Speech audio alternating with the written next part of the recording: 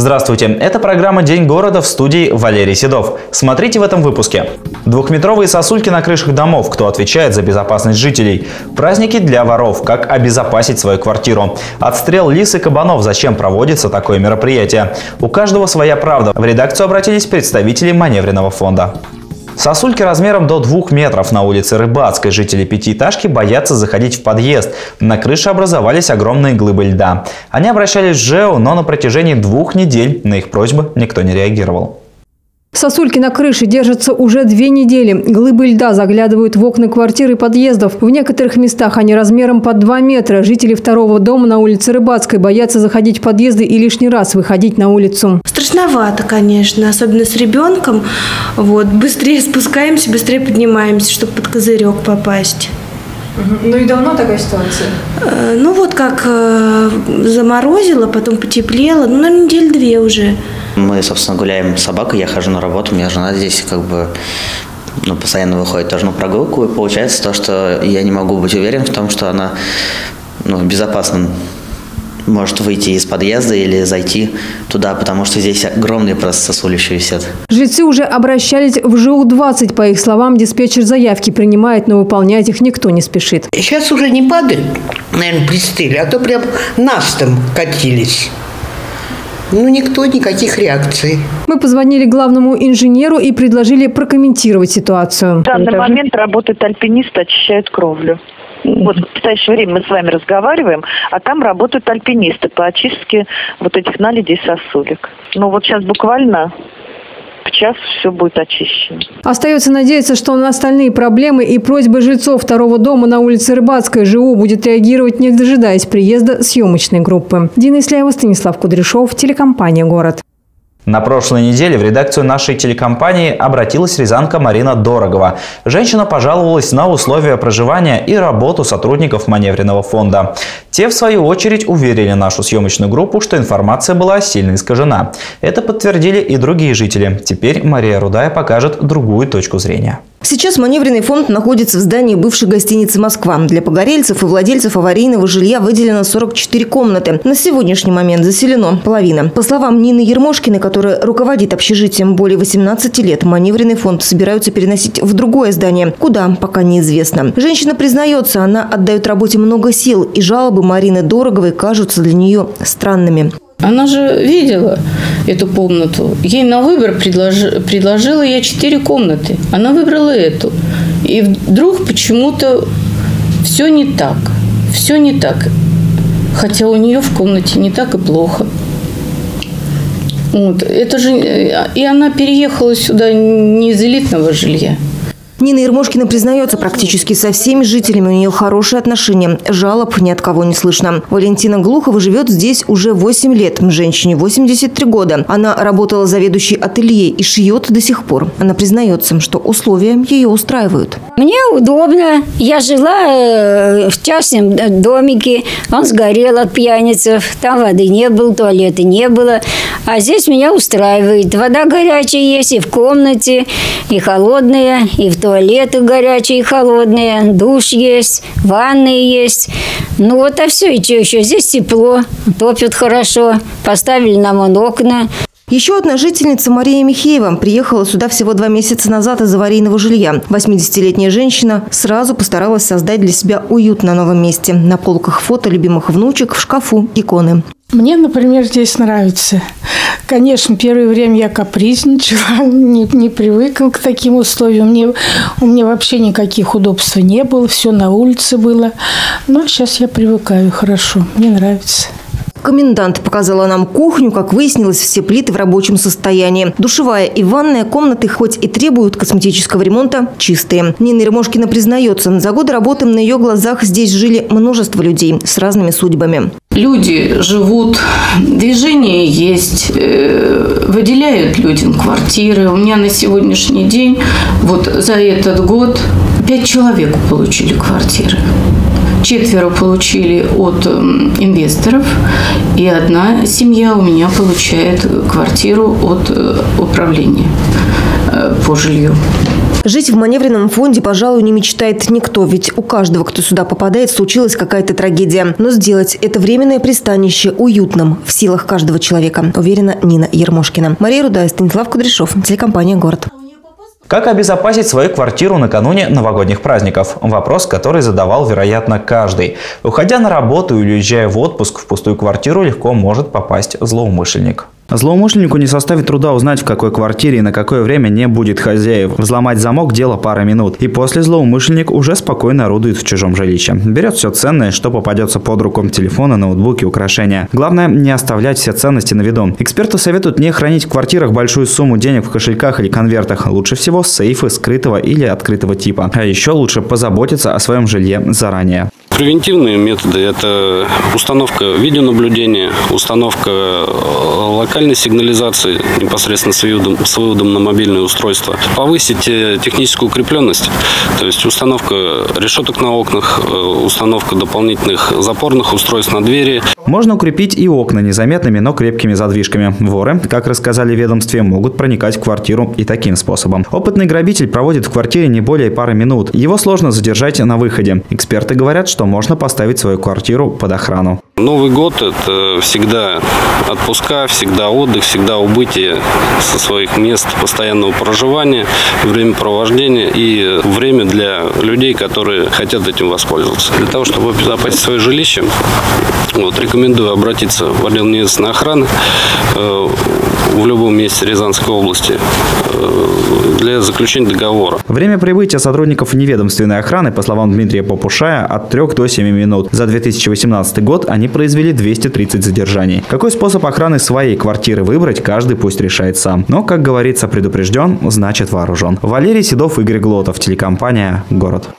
18 новых низкопольных автобусов заменили маршрутные такси 77-го направления. Сделано это было для удобства горожан. Теперь автобусы курсируют по маршруту поселок Карцево, поселок Мехзавод. Вместо узких и тесных маршрутных такси удобные автобусы. Новые подвижные составы вмещают в себя до 52 пассажиров, рассчитаны на комфортную посадку маломобильных групп граждан и обеспечивают беспрепятственный заезд детских колясок. Мы надеемся, что маршрут у нас приживется и будет, то есть действительно одушенный для поселка Карцево в связи с городом Рязани. Удобен маршрут тем, что дети обучаются в школах Дашкова песочной. В поселке Карцево нет ни школы, ни детского сада, ни магазинов, в общем, никаких бытовых, скажем, таких э, этих условий. И дети наши, соответственно, ездят в город Рязань. И когда 22-й имеет большой разрыв в течение дня там, то есть дети не могут добраться просто-напросто ни в школу, ни из школы. И поэтому сейчас мы просто спокойно за своих детей. Ярко-красный пас «Вектор Next» машина средней вместимости. Автомобили были приобретены компанией-перевозчиком. В дальнейшем, в следующем уже теперь году, в наступающем планируем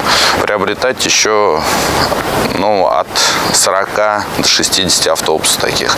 Я думаю, что в феврале, в марте следующего года мы будем планомерно еще обновлять свой парк. Всего с начала года на городские маршруты вышли 44 таких новых автобуса. Расписание пока работает в тестовом режиме. Интервал движения в час пик от 5 до 7 минут. В обычное время до 10 минут. В настоящий момент расписанием предусмотрено максимальное количество 18 единиц, но они будут работать в скользящем графике, э, то есть пиковые нагрузки будет работать э, большое количество подвижного состава. Там, где перевозки не ну, будет спадать пассажиропоток, уже э, будет работать меньшее количество транспорта, но в соответствии с установленным расписанием. По данным Управления транспорта администрации города, для владельцев транспортной карты «Умка» городская проезд будет стоить 21 рубль. Стоимость социальных месячных проездных билетов в Рязанской области увеличится с 1 января 2019 года. Соответствующее постановление опубликовано на сайте правительства региона. Документ касается городских и пригородных перевозок. В настоящий момент льготный проездной билет стоит 350 рублей. С начала 2019 цена его увеличится до 365 рублей. Исполняющий обязанности начальника управления транспорта администрации города Рязани Сергей Рогов сообщил, что стоимость остальных проездных, таких как студенческие, школьные и так далее, останутся на прежнем уровне. Чиновник поделился и хорошими новостями. Стоимость проезда в пассажирском муниципальном транспорте в Рязани менять не планируют. Егор Бурцев ушел с поста уполномоченного по правам предпринимателей Рязанской области. Об этом он сообщил на своей странице в социальных сетях 20 декабря. Тексте своего письма Егор Бурцев указал причины ухода. Говорит, что планировалось это еще летом, но произошло только сейчас. Свою работу на посту уполномоченного по правам предпринимателей Рязанской области омбудсмен назвал интересным опытом. Напомним, Егор Бурцев был назначен бизнес-омбудсменом в 2015 году. На тот момент 35-летний предприниматель работал директором городской юридической консультации, состоял в региональной организации Ассоциация молодых предпринимателей. За прошедшие сутки случилось сразу несколько происшествий, столкновения школьного автобуса и автомобиля, пожар в многоэтажном жилом доме. В происшествиях погибло 4 человека. Подробности в нашем следующем сюжете. Не справился с управлением на утренней дороге. ДТП произошло в 7.30 утра. 46-летний мужчина ехал из Москвы в Касимов и врезался в школьный автобус. К счастью, пазик был без пассажиров, в отличие от легковушки. В результате дорожно-транспортного происшествия водитель и 50-летний пассажир легкового автомобиля погибли на месте. Водитель автобуса обращался в медицинское учреждение. По факту происшествия проводится проверка. Все обстоятельства уточняются. Летальным исходом закончился пожар на Михайловском шоссе. Запах гари первой почувствовала соседка сверху. Она и вызвала сотрудников МЧС. МЧС. Однако к моменту прибытия хозяин квартиры и его сосед были уже мертвы. По предварительной версии, они отравились угарным газом. Они э, просто оказались собутыльниками. То есть они э, никаким образом не пересекались раньше, но когда Геннадий ушел на пенсию, вот как-то стал злоупотреблять. Завел, от него ушли его родственники. Что стало причиной пожара, пока сказать сложно, идет экспертиза. Соседи утверждают, что пенсионер Геннадий, которому принадлежала квартира, не курил, в отличие от его гостя Александра. При этом запах гари чувствовали и за несколько дней до трагедии. Тогда дыма видно не было, поэтому значения инциденту не придали. К счастью, соседи не пострадали, чего не скажешь об их имуществе. На третьем этаже э, практически всю квартиру залило.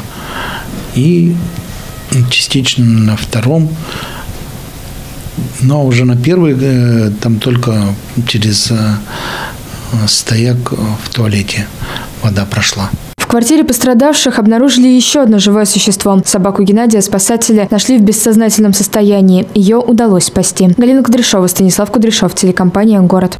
В Рязанской области начнут отстрел кабанов и лисиц. Продиктовано это далеко не спортивным интересом. В настоящий момент проводится мероприятие по профилактике возникновения африканской чумы свиней и бешенства. Охота не только в удовольствие, но и на пользу. Как рассказали представители Минприроды, существует норма по численности кабанов и лисиц в регионе. И если с первыми никаких трудностей не возникает, то вот лисиц становится все больше. Говорят, причина в том, что на них упал спортивный интерес. Все бы ничего, вот только они переносчики опасных болезней. Африканская чума свиней поражает скот, а бешенство бешенства уже человека. И это может показаться невозможным, ведь лис мы гладим нечасто, да и вообще рыжая плутовка не любит попадаться на глаза. Вот только если она укусит собаку или кошку, то болезнь вполне передастся хозяину. Обстановка в области по двум болезням, африканской чумы свиней и бешенства, остается напряженной. В настоящее время запланировано проведение мероприятий по снижению численности кабана до 28 февраля 2019 года и лисиц до 31 марта также 2019 года. Дальше мы проанализируем результаты и, возможно, будут приниматься, возможно, не будут, в зависимости от хода проведения мероприятия. Для охотников есть и дополнительный стимул. За отстрел кабанов награды нет. А вот за лисицу можно получить премию. В этом году принят закон Рязанской области об выплате такого вознаграждения. Э, постановлением правительства области утвержден порядок начисления. То есть охотнику могу одно сказать, что за тушку каждой лисицы, ну, есть определенный, конечно, порядок, ее надо сдать ветеринарные органы, выплачивается вознаграждение в размере 250 рублей. Работа по сдерживанию популяции проводится не первый год. Обстановка по численности кабанов остается, как выразились в ведомстве, безопасной. Поэтому это скорее профилактические меры. Валерий Седов, Игорь Глотов, телекомпания «Город». Это были все новости на данный момент. Еще больше информации вы сможете узнать на нашем официальном сайте город62.тв и в группе в соцсетях. А на этом я с вами прощаюсь. Хорошего вам дня и до встречи в эфире. Мама спит, она устала, в пробках два часа стояла. До работы далеко, добираться нелегко. Каждый день ее я жду, грустно мне бывает Потому что мамочки мне очень не хватает. А папа наш пришел с букетом и сказал нам по секрету. Будет времени в запас, переезжаем в Еврокласс. Это в центре, здесь все рядом, всей семьей мы очень рады. Хочешь стать одним из нас? Заселяйся в Еврокласс Строительная компания «Зеленый сад». Предлагаем тишину и комфорт загородной жизни. Реализуем квартиру в новом жилом комплексе «Полянка», недалеко от Рязани, в Полянах. Перед домом оборудована детская площадка. Имеется достаточное количество парковых мест. В шаговой доступности пруд, детский сад, школа, мини-маркет. Телефон 27 55 55.